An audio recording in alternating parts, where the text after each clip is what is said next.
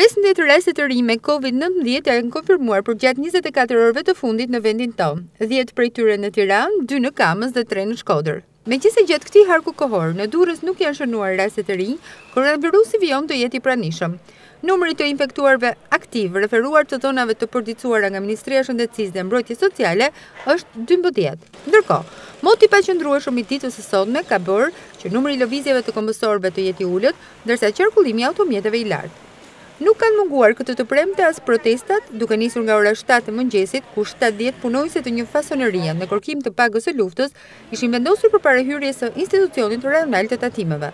Një tjetër protestë u zhvillua nga banorët e kompleksit Jedas përpara bashkisë, duke kërkuar informacion në lidhje me procedurat që po ndiqen për fazën e rindërtimit. Njëherësh, ata janë shprehur që i është ndërprerë bonusi i qirasë. Ndërkohë, mbeturinat prej tre ditësh kanë pushtuar Durrësin. Era e rëndë është përhapur në të gjithë qytetin, ndërsa denoncimet në lidhje me këtë fakt nga banorë të lagjeve të ndryshme kanë shoqëruar këtë të premte.